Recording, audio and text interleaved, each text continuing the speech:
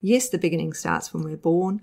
Yes, that is a beginning, but a beginning is when we start something new. If you decide to take up watercolor painting and you've never done it before, that's a new start. When your client decides to start looking after their health, that's a new start.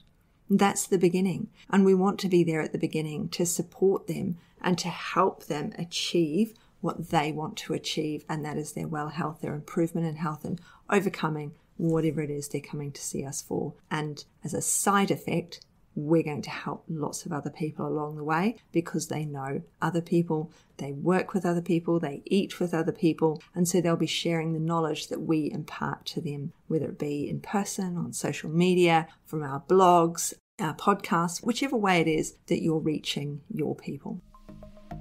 Welcome to September, and in the Facebook group Strictly Education and Support, we're currently involved in the Get Sorted September Challenge. Why don't you come over and join us? As long as you join before the 20th, then you'll be in it to win it. There's a challenge tracker, and if you win on the challenge tracker, then you'll win a one to one with me.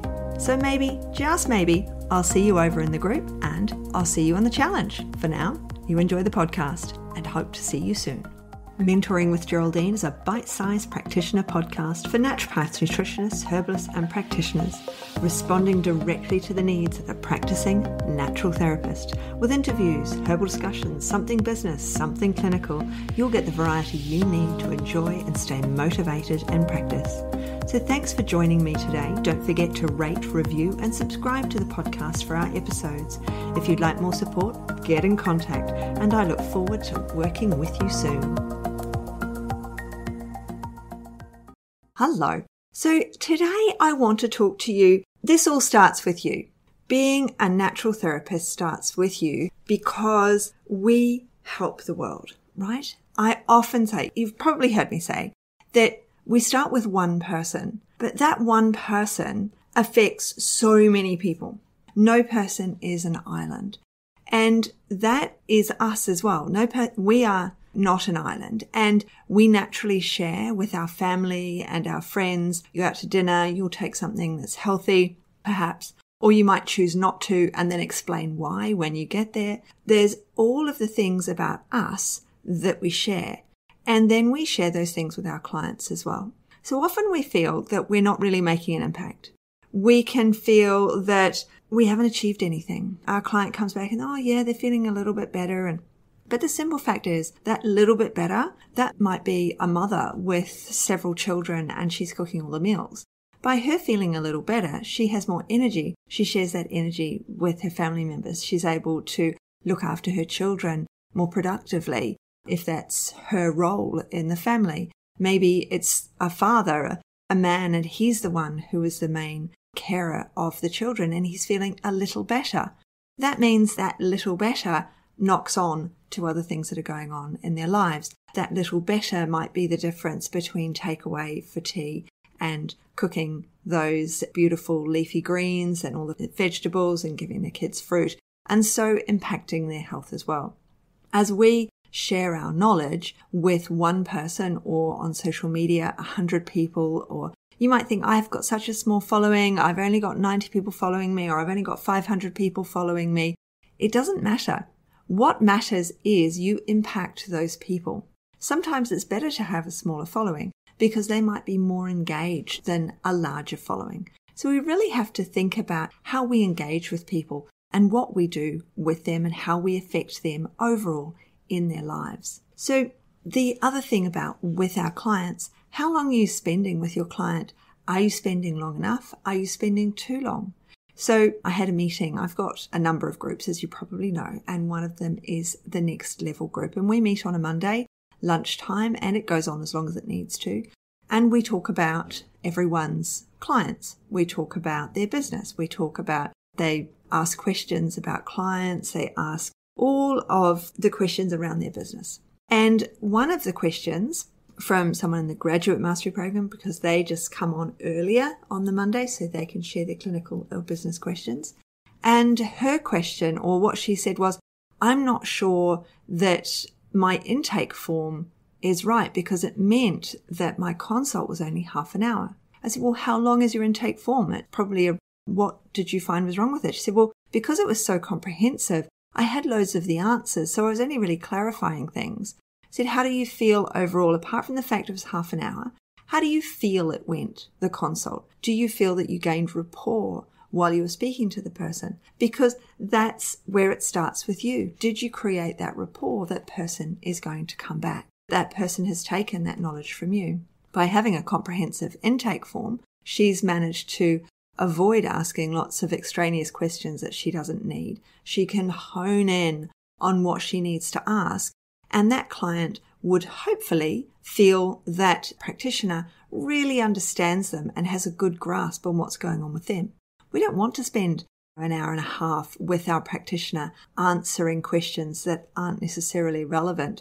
Because if we're exhausted at the end of it, we won't have that same rapport that we would have if we had half an hour of really quality time with that practitioner to learn what we needed to learn, to go through what needs to be gotten through. So we're rewriting this person's future. We're rewriting this person's children's future by changing their life, by giving them more energy, by helping them with their chronic illness, by helping their long COVID, whatever it is that's wrong with them. If we're helping them with health and lifestyle improvements, then we are helping them very much long term if we're helping them to change. But all change takes time. Nothing happens overnight, does it? I don't know about you, but changing is not that easy. It took me a long time to quit some of my bad habits. It took me a long time to really feel that I don't need sugar. Okay. It took my body a long time to change as it changes. And I'm noticing changes as I get older. I like to say I'm only 30, but I might have to admit that I am aging slightly. And I might just have to admit that.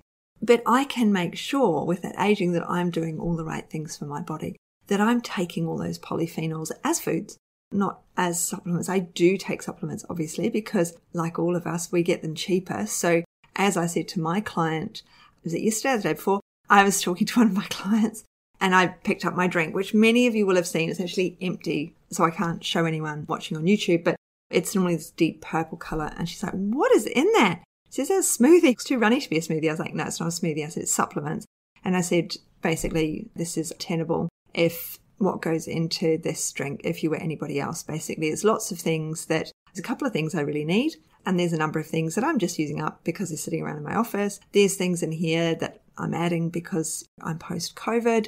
All of the things and far too many things. I don't need this many things in this bottle. And she was like, Oh, I've recommended you have three things. And that is actually enough for you. And we had a really good laugh. At the end of the consult, I said, You're doing really well. I probably don't need to see you for, I don't know. She went, Oh, how long? Five, six weeks? We've gained most of what we need to gain. And she said, Oh, it's really good when I speak to you because I think it really keeps me on track. Okay, four weeks it is. I will see you in a month. And um, oh, great. And that's what we want with our clients, isn't it? We want that rapport that we want them coming back. We want them to want to come back and for them to know that this is an ongoing relationship of care, that this is supporting them to change, for their family to change. She speaks to me about the children, the husband. We've had discussions about all sorts of things that affect them as a family. And so that's what we want this therapeutic relationship that's going to support change in our clients and it takes time to change. I can't change anything about me overnight. Whether I can change my hair in a couple of hours, I can go to the hairdresser, but getting it back to long hair, I used to have long brown hair. That's clearly not going to happen again, is it? But even long hair is still going to take a long time. So if we think of change as being growing hair, then we can remember it takes a long time to have a full head of hair down your back and it's going to possibly take that long to make these overall changes, these total future changes that start with us, that start as natural therapist caring for our client, sharing that information, and for them to take those steps. So when somebody is unwell, when somebody is exhausted, it's going to be really hard for them to cook amazing, nutritious meals for themselves and for the whole family. So we have to think of ways to get those foods into them. It might be that they're buying sort of a not well you can get certainly get some really amazing ready meals cooked that you heat up in the oven. You can certainly get lots of those. We have a wonderful one here in Adelaide. But there's also those the sort of meal kits where it's all in there and you're just chopping it up and cooking it. So you're getting a fresh meal. And these are options for people who are exhausted that will still give them the nutrients they need. Sometimes they're a little bit lacking, I found, in protein and vegetables, but they're not too bad when you're exhausted and you're trying to make these changes or you want to keep these changes going. When I start with my clients, I start with one meal. I get them to choose one meal they're willing to change. If I look at the, because I get everyone to do a diet diary after the first appointment so that I can see what they're eating. And I always do a 24 hour meal diet recall so that I know whether or not I have to keep following up the seven day diet. And when I look at the, it might be I look at it and lunch is not so crash hot, but dinner's okay. So then we work, will you have leftovers the next day? How can we get you making a really nutritious dinner to take over so that you've got a nutritious lunch going on as well? Maybe it's a terrible breakfast. So how can we get a really good breakfast going on here? What ways, what systems can we use that don't use up all your energy, don't use up all your time, and they're ready to go, like Bircher muesli you can make on Sunday and eat all week, or whatever it is. We really need to think about change with our clients, the time that we spend with them as a really positive input, and that we don't wear them out, and that when we see them, it's really constructive because we've got this change happening with our client. They want this change. That's why they've come to see you and you want to see them succeed. And people think, I failed, I couldn't do it. You often get that. You ask somebody to follow a particular diet or they're giving up smoking or something. So, oh, I did it and then blah, blah happened. And so I had another cigarette or I ate the chocolate bar or it was a birthday party. I couldn't do anything about it. I had the piece of chocolate cake and then I just thought, oh, I've messed it all up. I'll have another piece. So that's when that therapeutic relationship is there because we want to be able to change them in an ongoing basis. Personally, now I struggle to eat a slice of birthday cake because I really don't eat sugar. So I find things very sweet. I will eat enough. I would eat a piece if handed to me though, but I would never go back for a second one. And anything that's really sweet, just hide or feed to the pot plant or something. No, of course I wouldn't at a party. But you know what I mean just because I've had that piece of cake, the next day I'm not going to go and have another piece of cake, but lots of people will. They have to understand it's okay to eat the cake and to stop again the next day. You're at a birthday party. It's a different behavioral time. You're not ruining your entire life if you work on an 80 20 system.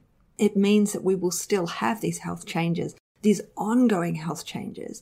It means that we get enough time with them on a repetitive basis so that we can support that change, so that where they have that stumbling block, really can't eat onion, but I really love onion. What am I supposed to do? I'll eat leeks. We are the helper there to swap those foods out. We can think of the other meals. I can't have white flour. What am I supposed to do? I've been told I'm a celiac. Well, look at all these other options. Bread isn't the be all and end all. It probably is, and that lots of people like it, but I have hardly any bread. And it is okay it's not okay when you can't do it. I think that's probably it, isn't it? It's not okay when you're told you can't do something, whereas when you don't want to do something, it's much easier. And that's the hard thing with change is you need that support through the you can't smoke. Don't smoke. This is the worst thing you can do. And we've got to get them off the cigarettes without demonizing them and their behaviors and making that change, you know, getting everybody off the white bread, the whole world off the white bread all of these things that we support our clients with change because we're affecting them, we're affecting their families, we're affecting all those people around them through change and through supporting them and having them come back to see us on a regular basis and working with their needs. We really need to meet our client where they are at now. We can't go in there, oh, your diet's terrible, here's your new diet plan, breakfast, lunch, and dinner.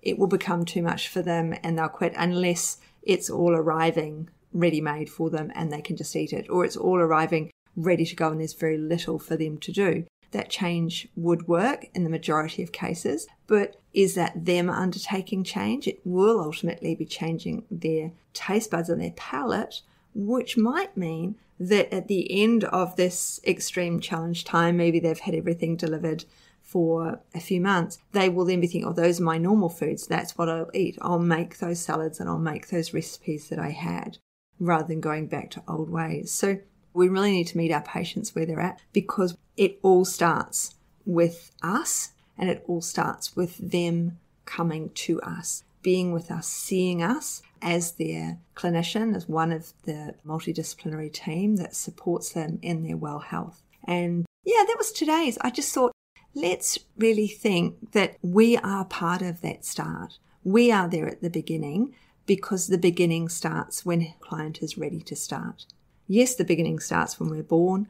Yes, that is a beginning, but a beginning is when we start something new. If you decide to take up watercolor painting and you've never done it before, that's a new start. When your client decides to start looking after their health, that's a new start.